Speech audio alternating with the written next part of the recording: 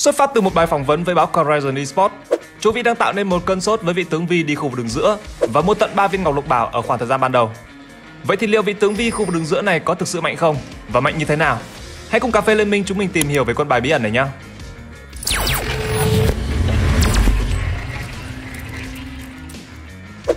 Vậy sức mạnh của quân bài Vi đi mid là gì và mạnh như thế nào? Đầu tiên chúng ta hãy nói về điều mà Châu Vi đã chia sẻ. Ba viên ngọc lục bảo kết hợp cùng với tỷ lệ hồi máu tự nhiên của Vi.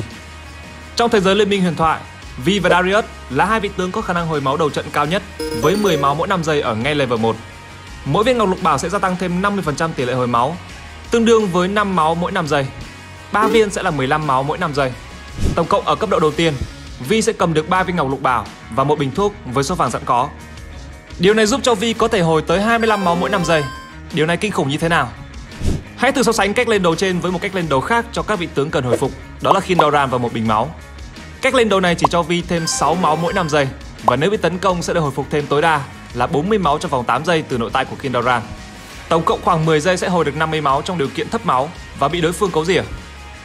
Con số này bằng với việc cầm 3 viên ngọc lục bảo và không cần điều kiện gì hết. Hay một đòn đánh tay của Lập Lang ở những cấp độ đầu tiên là 55 đến 70 máu, cộng với combo nấp quy ở level 2 là khoảng hơn 200 máu.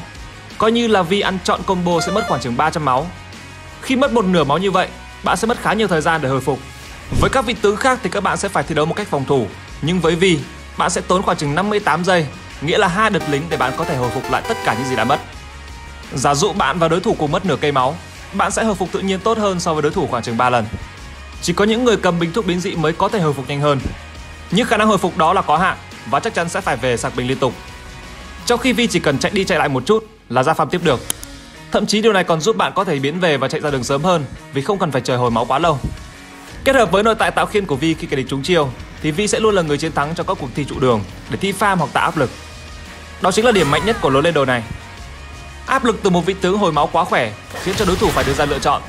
Dứt điểm hẳn Vi, hoặc để cho cô nàng này áp lực vào lính liên tục và farm thoải mái ở khu đường giữa.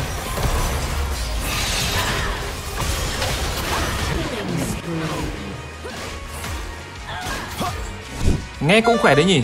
Vậy tại sao thì bây giờ mới hot? Bởi vì meta ở thời điểm hiện tại thì các pháp sư cấu rỉa đã không còn quá mạnh Nên các vị tướng đấu sĩ mà có khả năng hồi phục mạnh mẽ sẽ được ưa chuộng như Chidamir, Irelia, Sylas và Vi với cách lên đồ này.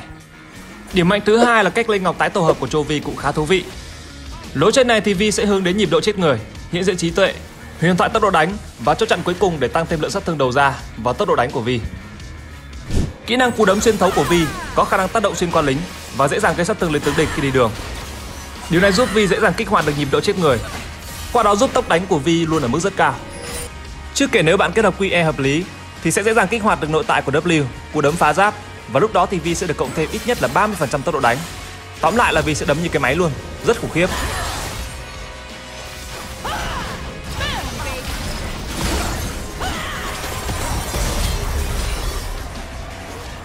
Bảng phụ của Vi sẽ là ngọn gió thứ hai để tăng mạnh hơn nữa khả năng hồi phục và kiên cường giúp giảm hiệu không chế, giúp Vi dễ dàng cản lướt hơn.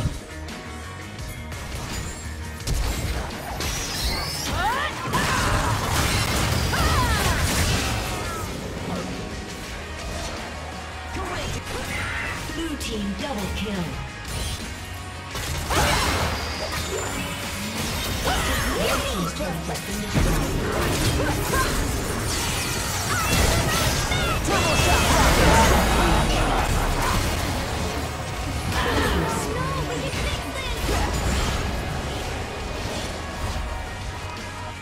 Về cách lên đồ thì sao? Vi có khả năng xuyên giáp và gây sát thương theo phần trăm máu tối đa của mục tiêu. Vì vậy thì Vi cũng không cần lên quá nhiều đồ sát thương. Thay vào đó thì chúng ta sẽ hướng đến những món trang bị nhằm tăng thêm khả năng sống sót cho Vi trong những tình huống giao tranh.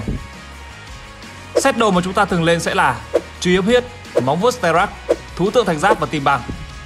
Nếu team địch có nhiều sát thương phép thì món trang bị thứ hai có thể hướng đến đao tím để tăng kháng phép và với Vi thì càng nhiều tốc độ đánh càng tốt.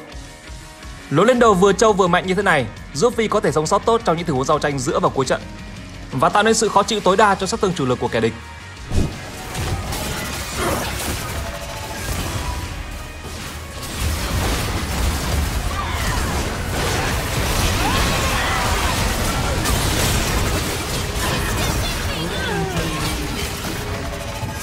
Tuy nhiên, meta này có thực sự mạnh? Câu trả lời là không. Vì có thể là một quân bài dị và thú vị, nhưng nó tồn tại một điểm yếu chí mạng, đó là khả năng né ganh là rất thấp. Nếu bị dừng địch ra hỏi thăm liên tục, thì khả năng nằm xuống của Vi cũng là rất cao. Chưa kể là nếu gặp những vị tướng có khả năng khống chế mạnh, thì Vi cũng sẽ dễ dàng bị bắt chết. Khi kỹ năng lướt duy nhất của cô nàng này lại phải gồng, và khi gồng thì tốc độ di chuyển lại là rất thấp. Điều này khiến lựa chọn Vi ở khu vực đường giữa là một lựa chọn rất mạo hiểm. Vì nếu không thể lăn cầu tuyết hoặc không được đồng đội chăm sóc một cách kỹ càng ở giai đoạn ban đầu thì Vi gần như vô hại cho đến khi cấp độ 6. Ở giai đoạn giữa trận, vì đúng là có thể khóa chết một mục tiêu, nhưng đồng thời cô nàng này cũng sẽ đặt mình vào tình trạng rất nguy hiểm khi lao vào giữa lòng địch. Nếu không có những món trang bị như chùy ấp huyết, móng vuốt Sterak thì Vi sẽ sớm ra đi bằng cách nào đó mà thôi. Khả năng hồi phục tốt chỉ giúp cho Vi đánh giao tranh nhấp nhả có lợi, chứ không giúp cho khả năng chống sát tương dồn của Vi cao hơn chút nào hết. Chính vì vậy nên Faker và Chovy sau một vài trận thử nghiệm đã quay về tập luyện các vị tướng quen tay hơn như Lập Lăng, Chinamir hay Irelia. Vi có thể sẽ là một con bài tẩy tại chung kết thế giới 2021, còn ở thời điểm hiện tại, Chinamir, Lập Lăng, Irelia hay thậm chí là Zone sẽ tối ưu hơn rất nhiều. Nếu các bạn muốn chơi thử quân bài này thì hãy lưu ý kết hợp với đội hình nào có khả năng băng vào tốt như Kennen, Lee Sin hay Alistar. Và đừng chọn vị tướng này khi đối phương có quá nhiều hiệu ứng khống chế.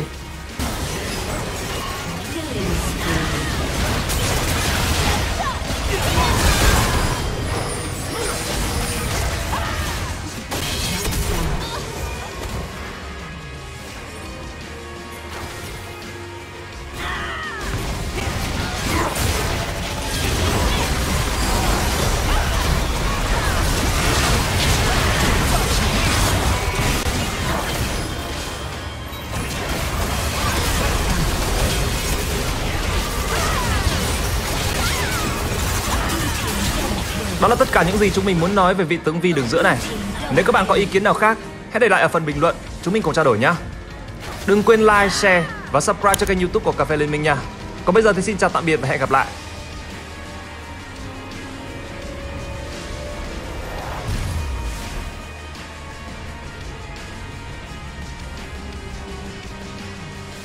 Red Team's turret has been destroyed.